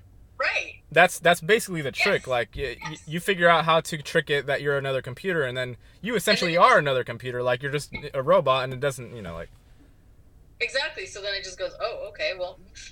yeah, like nothing is going on over here. You know, is this? But th- the funny thing about it is like once you've attained that sort of skill, you can still dance and move and do like what what you know other robots shouldn't be doing, but it still can't see you. So like that's kind of like the back engineered trick of it. exactly. Yeah. oh, it's a funny world. Matrix hack for everybody. yeah. How not to let it eat you on every single occasion. yeah, exactly. It is fascinating. I mean, when you think about the, um, I, I used to just watch. I used to just watch the backdrop. And I mean, the backdrop of it all, like they, they really go out of their way to create backdrops, even in society, like to make everything look a certain way. Mhm. And it is, in that way, kind of really is like the Truman Show, right? Maybe I don't know if you saw that, right? I've seen all of those ones, yeah. it's it's an entire island that's just been created and he's like woo you know like not realizing the whole thing is a backdrop Right. but society at large this is what i'm saying society at large and how it, it is strategically designed designed to interact with the reals but also to get the reals to believe the program And believe that they are part of the program. right But it doesn't want them to know that they're part of the No. program. So it's, Exactly. it's just a little trick that you got to figure out for yourself, and then and then orient yourself to that new, fresh perspective. Exactly. Okay, and what about what about the reanimated population? What do you mean, like Nazis coming out of the ocean, or No, this is freaky. freaky. If you if you um so I have this theory about the reanimated population. oh, you you you mean like uh, archetype characters being repopulated through? They just keep being reanimated. Like I've heard- and over again. I've heard of that. Yeah, like your celebrities or your music, your pop stars, all that stuff. over and over. It's almost like every single solitary player in this simulation game are reanimated.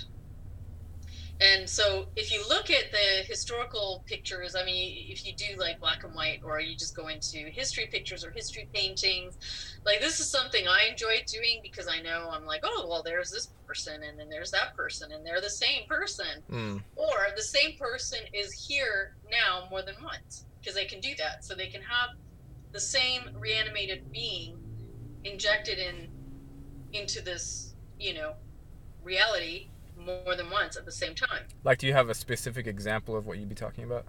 um, well i mean you can get i don't have it well i have to there's just so much in my brain i just i'd have to pull one out um, I mean, are you talking about like from an era, from a generation to a generation, like a a president Obama? It's fifty years later is a president, blah blah, whoever else. or or yeah or he's um, president obama in the united states and then he's also somebody else that lives in africa. Or he's also Vladimir Putin at the same and time. also yeah like yeah it's like reanimated because they can just do it more than once if they want to at the same time. So they can just put them in different parts of the globe. Um, and, Ye- and they can reanimate the backdrops. So the backdrops can be the same stream the same exact population of the archetype of this reality system that they just keep using over and over again so even if it's um, a billion people they're just reanimating a billion people over and over again and they can do it as much as they want Yeah, I feel like if it's if it's a program at its core, then of course, yeah, like why would you So need? find like hey you know you could you could run into mm, you know putin five times in this lifetime because he's five different people but it's the same reanimate It's quite possible. It, it's it's a very it's a very strange. Uh, the construct is strange. Like I find the I find the the talking heads like the the overt kind of fakeness of like the news stations and all that. I find that kind of fascinating, honestly, in the fact that the players, so to speak, either are they're all hiding and just laughing like they don't give a shit at all, or else like they're just fast asleep or something because either that or it's just me and a, just a sea of NPCs or robots because like to me this is it, it, it makes no sense. Like there's no relevance no connection to anything. Like the, Nope. the guy is orange and he's talking about a border a wall. Like it doesn't have, there's no there's nothing there's nothing there. No. very No. strange. No. But i do i feel like the construct of this matrix is is not just the construct of the matrix but it's the construct of the players of the all the archetypes of all the reanimated population. I also feel like they can reanimate us. Hmm so like they take from the reals and then they, they have all these projects that they do so that you like five of you are out there somewhere. Ten of you are out there. I've seen you know i i've had some pretty fascinating experiences where because you know i've got clients from all over the world. I've had fascinating experiences where i have the same client in a different part of the world and they're the identical client. Really? It's like i have three of you do, do they ex- do they act exactly the same way they look the same, they act the same, they are identical, they have different names, they have different they're in different places of the world. but they're all paying you right so you're so you're benefiting here like it's just like okay, this is, this is you know, this is what's happening here. you don't tell any of them like there are three or four of you out there you know I have actually, yes, I have told them because I'm like, whoa, you need to know this. Like what do they say. Um I think they're well, I think people are shocked because I think it's really disturbing to that this is going on. But you have five doppelgangers. Did you know yeah, that? yeah, I mean, I've seen my doppelgangers Yeah. like various times throughout my life. I've had friends who've seen my doppelgangers called me on the phone while they were with my doppelganger, going, "I am standing in front of you right now as I call you." And this is before cell phones. Yeah. So, and I am looking at you right now while I have you on the phone. I wonder if that would be some weird like you see yourself and then you know like it cancels the matrix and like you wake up. You know?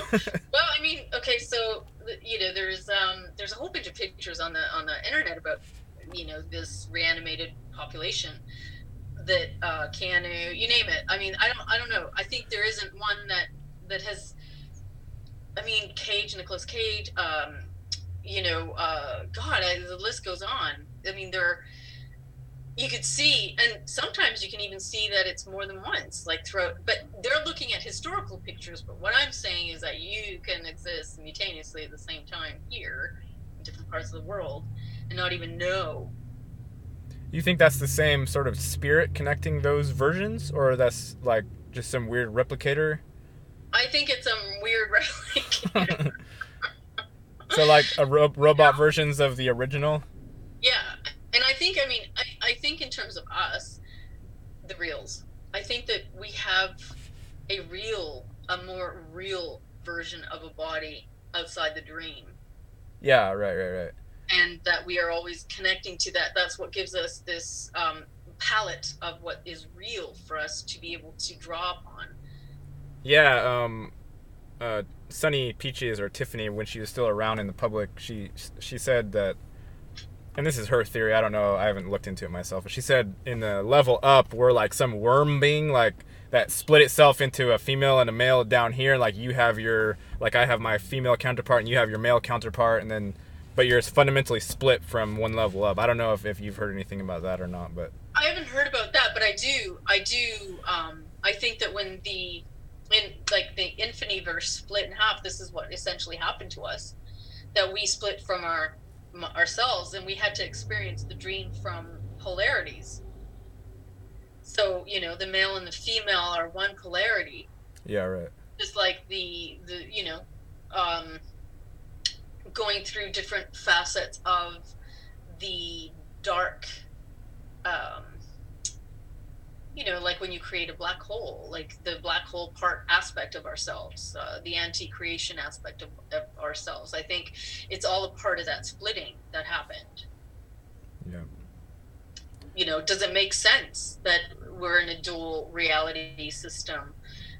Mm, entirely when it when you think of what we are as a being, no, it doesn't make sense to have duality. Yes, it makes sense to that we've been experiencing the dream in duality and polarity because until we don't need it anymore, you know, then we're just going to keep experiencing it. Yeah, I, I feel like the duality as necessity is a phase that you outgrow. Like I feel like I outgrew that. Sure. I don't because because it, it the for to even recognize duality, you have to make the jump into projection land. And I tell you from my experience, I don't have to project at all. Like I can sit here and not project at all and not put any meaning on anything, and yet it's totally fine and still here. It makes total sense, and I can leave it be. You know, I don't need to. I don't. I don't have to do that. Like. I, there's nobody sitting there forcing Gary. You must project. Yeah, no. you know. Right. Exactly. And and maybe when you get to that that you don't need to project anymore, you know, you're just sort of helping people see that. Hmm because we're gonna run out of needing this storyline. Be- because because the thing is is like there's a fear a lot of people have a fear that like oh once i you know well if i have ego death or if i transcend this or transcend that or i become enlightened or whatever god forbid you become enlightened okay well i'm gonna just be nothing and nothing's gonna exist and i'm gonna be all by myself for all of eternity. And i'm like no. You're not all by yourself you know you're exact everything you've ever had you still have it. It's just like you are free internally from having to just be pulled and yanked and pushed and pulled and forced this Yeah. way and that way by your own mind. Like your own mind is now not a taskmaster anymore. Right. That's literally all it is. Yeah. And your own mind isn't booby trapping you left, right, and center. Right. You know. You have I mean, quiet in your mind. it's quiet, but you know, look at I, I used to be fascinated by by these people that would, um, you know, like Houdini, um, but they would push their physicality to an extreme so that their physicality wouldn't experience what everybody else would experience in it, right? So you Yeah. just put yourself in an ice cube and just sit there for you know eight hours and just see what happens, or just slow your heart down until it's like one beat a minute Yeah. you know, and then just be like that. I am fascinated by that, or fascinated by people who, you know, they climb the Himalayas and they do all this extreme stuff where there's no oxygen. Wim Hof. Uh, You heard of Wim Hof? Yes, yes, That guy, he's he's the modern Houdini. Like he can regulate his own internal body temperature just by wanting to.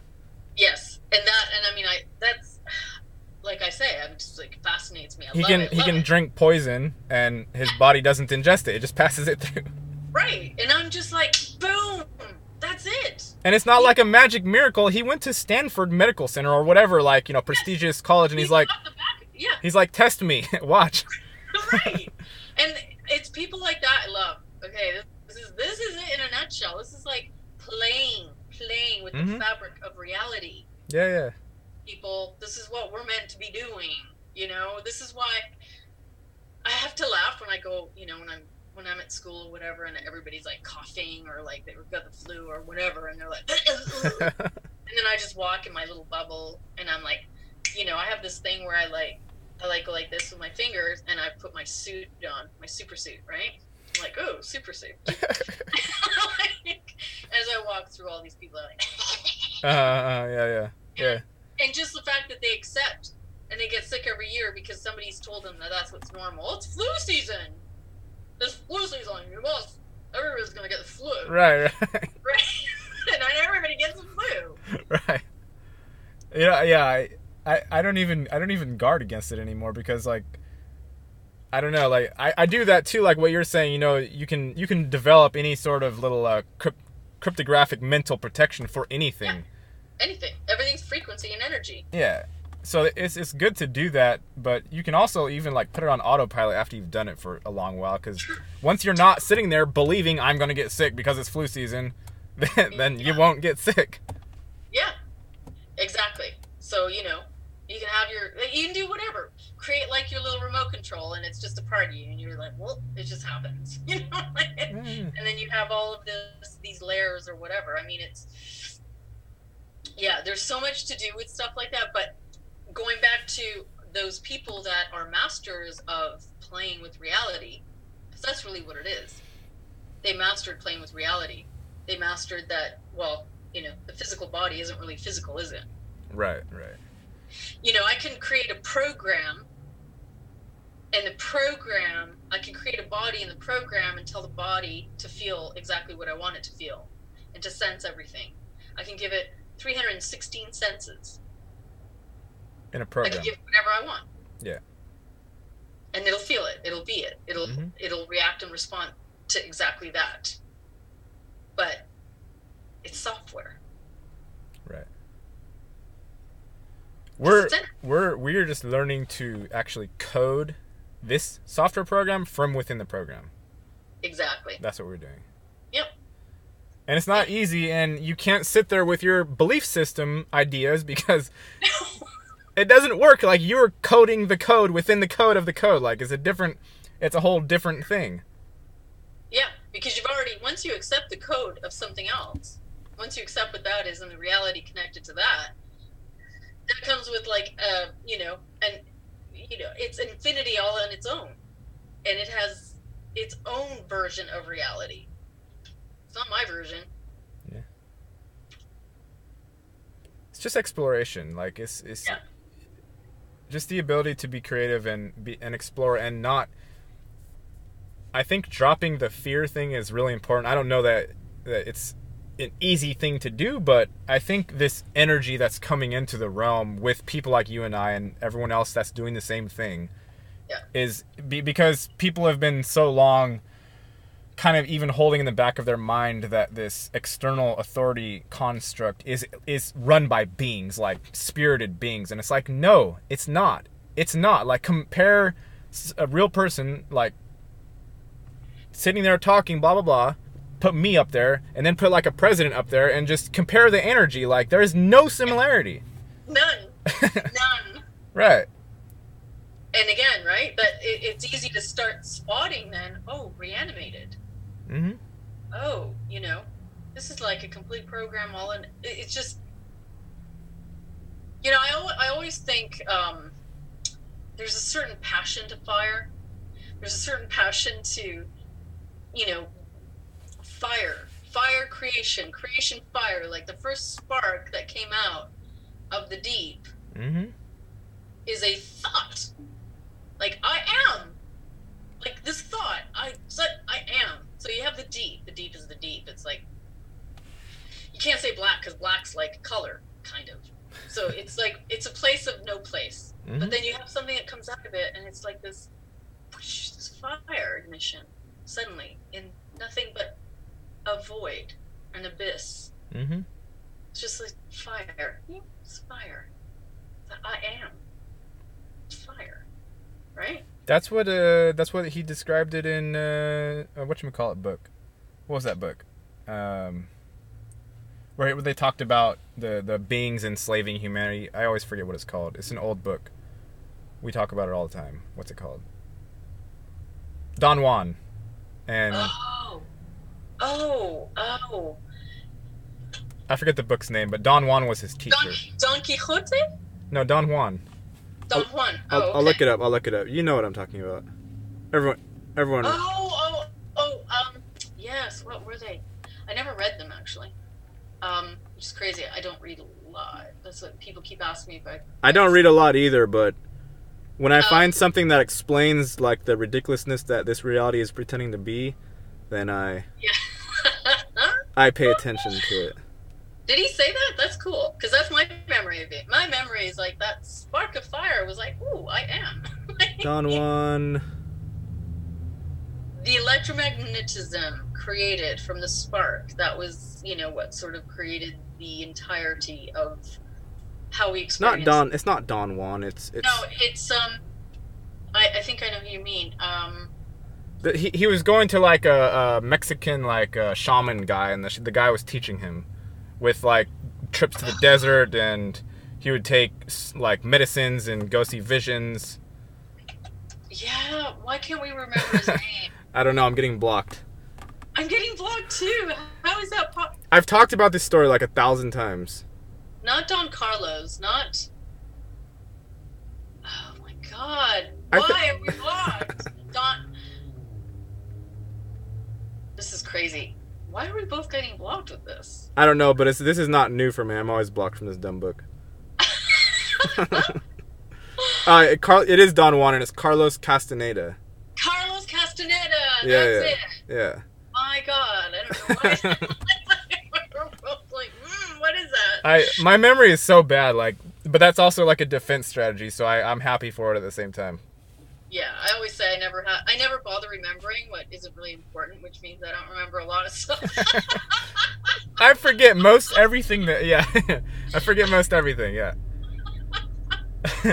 no, but but in in he when he was telling his story like this this this shaman guy when when uh, Don Juan uh, when Carlos Castaneda went to Mexico to get taught by Don Juan, Don Juan had this friend and Carlos wanted to go talk to this friend, right?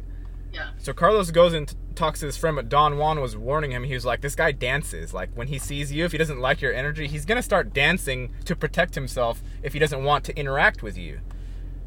So he went and st- wow. yeah, he went and Carlos went over there, and the guy, true to what Don Juan said, didn't like him, so he started dancing.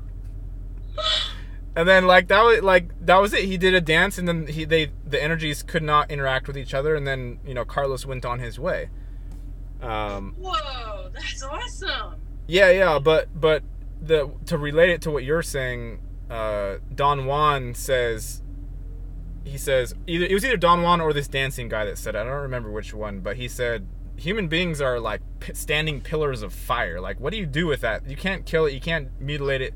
Yes, the body can happen this and that way, but it's like an eternal fire. Like that's literally yeah, it what it doesn't go anywhere. It's like once it came out of the deep, that fire came out of the deep. That was that. I am. Yeah, yeah. Guess what? I am gonna experience what I am. right, like doesn't matter what I do about it. Doesn't matter what you do. About it. no. I was like, that's it's what it is, and that's all there is to it. Yeah. Wow, that's I didn't know that. That's so cool. That's It's a good book. If you haven't read it or haven't read it in a while, I would recommend it. I have never read it. No. I've You should, yeah, it. you should. I I recommend that book for sure. Whoa. Yeah, I think um I, I mean, and I love hearing stories like that that corroborate like my memory of my experience of it. Because Mhm. because we can go anywhere in the experience of our creation because there is no time. and it's always the, the thing about it is it's always new. Like you're you hear stories about like oh we always repeat the past like this bullshit that people tell you to make war proliferate all this of this. Like no nothing has ever repeated ever ever ever and it's not ever ever gonna repeat it's impossible Yeah, because that's always a new experience of that. right Experience. like the the central witnesser is always witnessing something new like it doesn't matter it's always yeah. new and that's what I like about history. History is fascinating to me, and because it tells you where the where the mind or the amoeba, the amoeba, like we're always in a state of one amoeba before we expand into the the next growth of the amoeba, and it tells you the limitations of where we are at to experience reality at that place. And that's why everything is created in such a way to reflect where that is to reflect the cell at that moment in time and how that changes because nothing stays the same Yeah. as we experience creation Yeah, it's very interesting to. It's interesting for me to look at minds that came prior to me because I'm always trying to find someone who would think like me or who, who I could relate to somewhat, and I, I don't find that a lot in history. Although I do somewhat in in the people that are kind of like. I can only just say it's curious. Like they're curious about their environment. Like there's, it's it's really simple. It's not like it's just a simple curiosity and a, a sort of freedom from the programming at the same time because if you're just doing the programming then you basically aren't even there to be curious to begin with. No. right. You have to like awaken yourself to know that you're existing and that you're moving around within a realm and then at that point like be creative. Yeah. Which is i remember i mm, this is actually funny. Um, i took philosophy in university right? Because i'm like ooh that's natural. Mhm. i failed yeah but like I laugh at that because I'm like, okay, because that's a sign that you actually really are passing. right right right right yeah but nobody could see that right like the teachers weren't like no i i fully understand like what you're doing you know you're applying philosophy to this class like I'm actually applying philosophy to philosophy class, and Right. they failed me for it. No, no, no, no. We don't want. we don't. We don't want any of that. I ne- I never had teachers that like accepted a creative piece of work. They always said like, no, no, no, this is not. I didn't even No. get any teachers that were like saw my aim at least. Like, okay, I see where you're trying to like. I see what you're trying to do here, but I can't accept it because it's not fitting our structure. But I see what you're trying to do. Like, didn't even have that. That. No, Really? Not even once? nope. But then to to be fair, I've never like. I didn't really try too much in school. I just I, I didn't like being there in the first place, so I kind of just tried to skate by. Yeah. That's interesting that you didn't have anybody that actually could see what you were doing. No. Nobody's ever seen what I'm doing. It, like I said, until the last year, and then for some reason something strange happened, and all of a sudden people were seeing. it's converging. yeah, I mean, yeah, hopefully. Yeah. You know what? Like, I don't know. Like, there people want change. They want change internally and externally, but there the realm is so pervasive in its kind of like stickiness that, for one, it doesn't like people talking to each other, so it tries to discourage that in however way. And then also, like, even if you form groups, like I've formed groups with people, and they just kind of fall apart after a while. Especially if you're on opposite sides of the the realm and you don't have any like practical reason to be talking all the time, and you're not like social butterflies to begin with. So, Yeah. the, yeah. you know like the we have to c- put continual effort into it otherwise it doesn't really work that well But see, this is what's interesting is that the, the issue, the issue is that we cannot seem to connect in a group and we cannot seem to be able to keep that going in a in a way that is fluid so that we can utilize all of our gifts together. And i mean apart i'm not talking about cults. Cults seem to be able to do this really well. Right. Right. Like how do they do it without getting in trouble? Like how how does that work?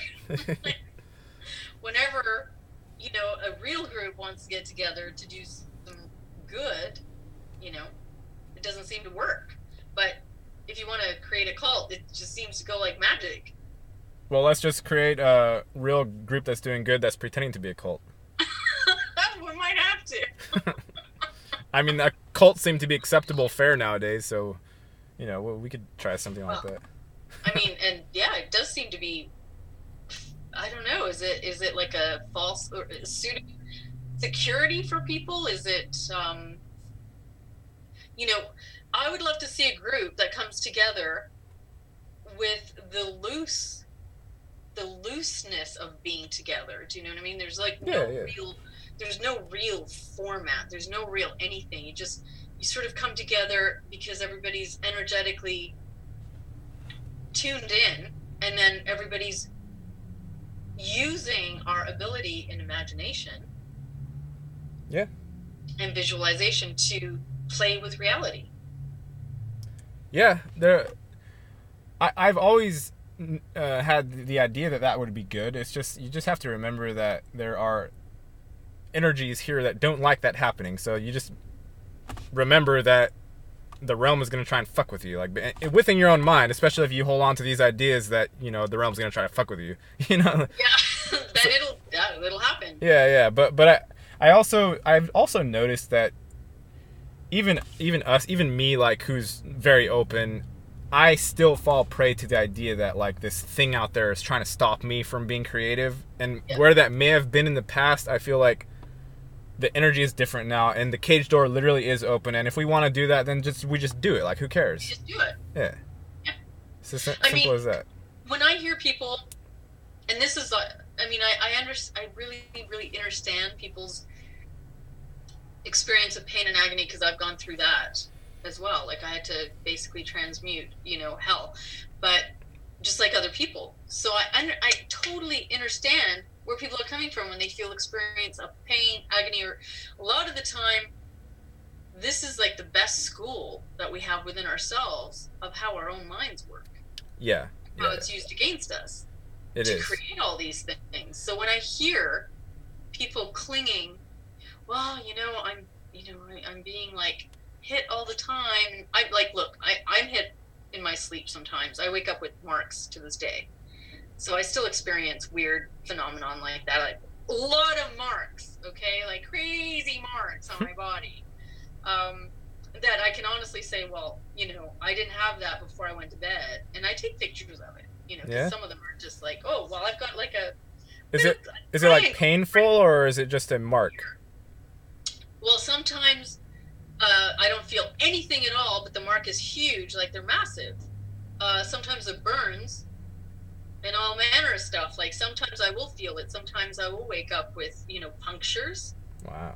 So like like needles have been put in, or so I you know I I experience all this stuff. Although I don't I don't feed it, so I don't feed it, so it doesn't. And but I can see where people are saying, yeah, I like you know I'm being mylabbed and I'm being like hit hard and I don't feel right. I'm being drugged and I'm not you know I don't have energy. Like we're all experiencing through these new particles coming in and these these waves that we don't have energy. Like we're being we're really being thrashed mm-hmm. you know j- just on every level possible we're being thrashed. And there is that like unnatural exhaustion that you can't you can sleep for 14 hours and you still feel like garbage. Yeah. So i mean that those things are real and as far as they're real and yeah it's our relationship to what that is like but it's just when we decide to be victims of whatever we feel we're experiencing, we are deciding the script that we're following. Yeah. And when that happens, that's the script that's going to play out. Yep.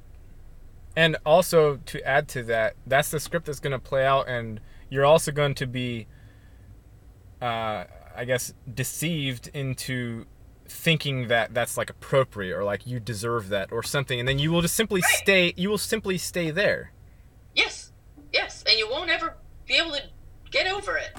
You know. because you've like now identified with the, the the pain body or you've identified with the victim or whatever and then because there is power in that like in being in anything here in the realm there's some sort of power and there's some sort of company that likes your your your little issue there and they want to help you with it and you know all this stuff so, Totally. so like yeah So it's up to us. Like whatever limitations we experience, we experience them because we accept those limitations. yes We don't need to accept any limitations. It truly is is like that. That hey, the door is wide open. There is like beautiful sunshine beaming with like this beautiful grass and uh, you know birds singing and butterflies and all of it. right You don't need to stay in your hovel.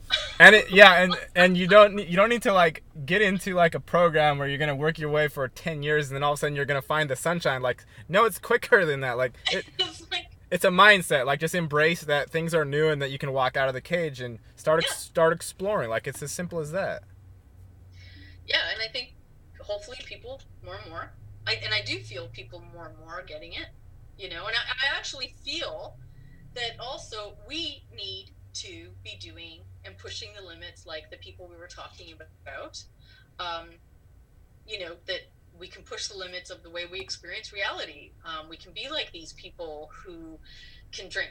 Well, I'm not saying drink poison and see what happens. I'm not, not gonna say, but you know, you got to really know yourself to be able to do that like I know. you got to know yourself really good Push your limits. Start like you know, start at kindergarten, whatever, where you need to start. But you know, start doing that. Maybe, maybe see if you can move. I'm, I'm always dreaming. I'm always dreaming that I'm moving things with my mind.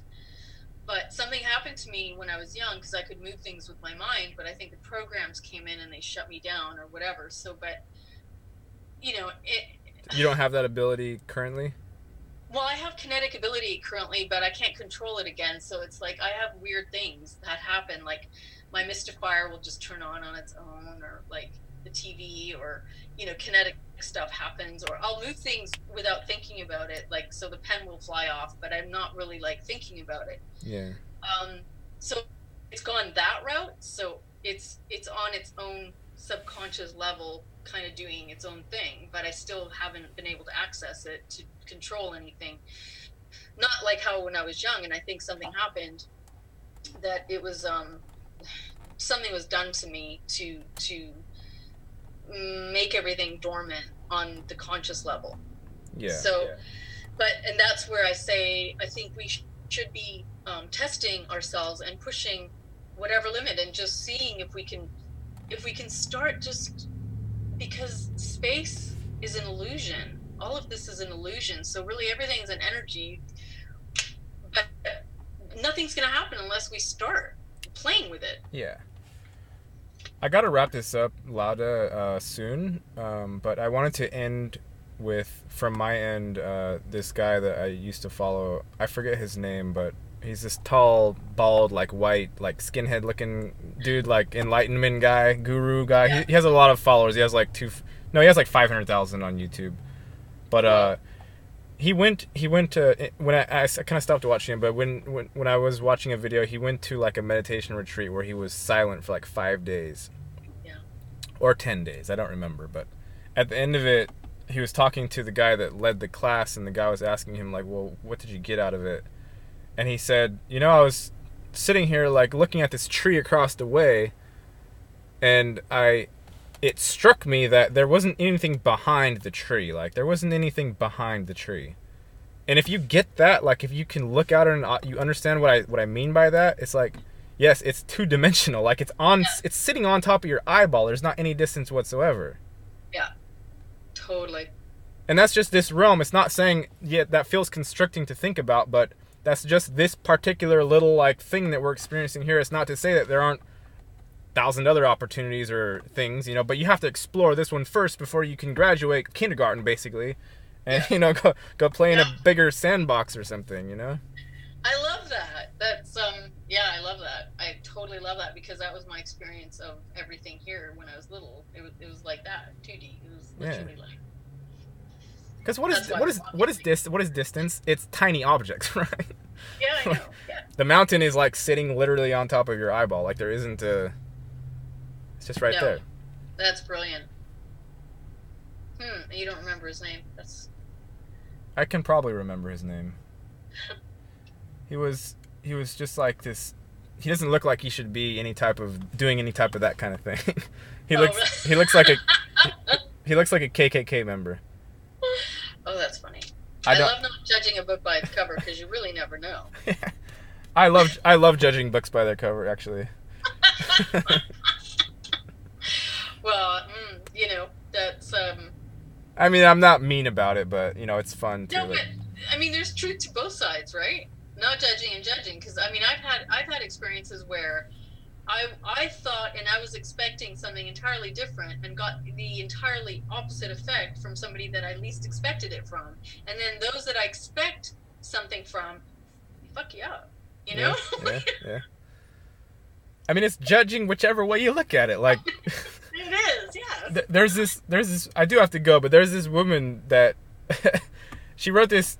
Look up this thing. It's, it's called Judge Your Neighbor Workshop Worksheet. Like that was her thing.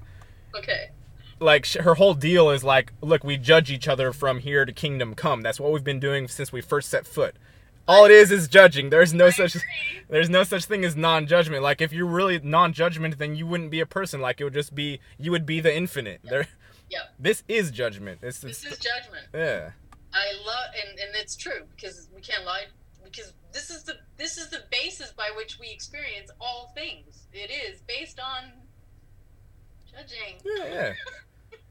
but there's like nice judging, and then there's like, Yeah. you're a you're a black man, so I don't like you. So let's like let's make you feel like shit and throw you in jail and all this other nonsense. Like But do do you realize that the the judgment has a lot to do with how we experience ourselves in creation?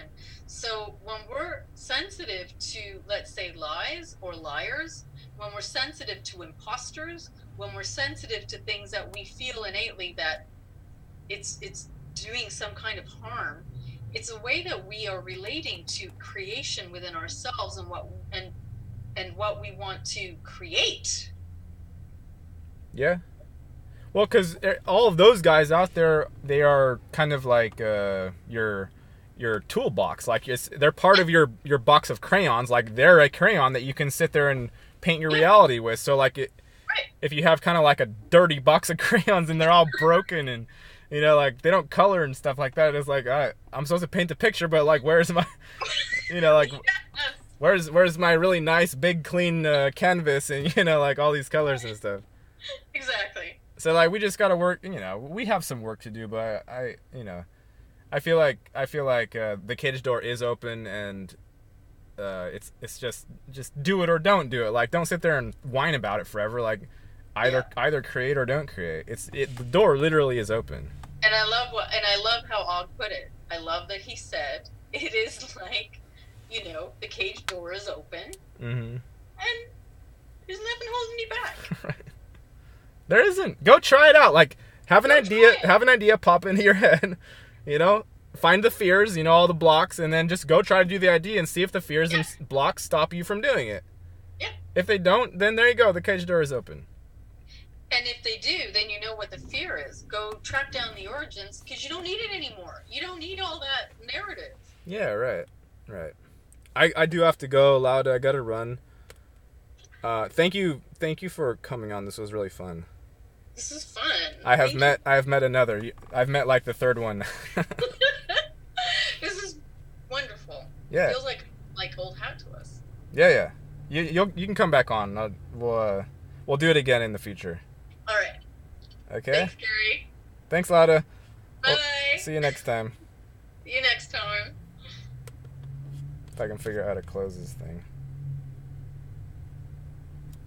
Okay.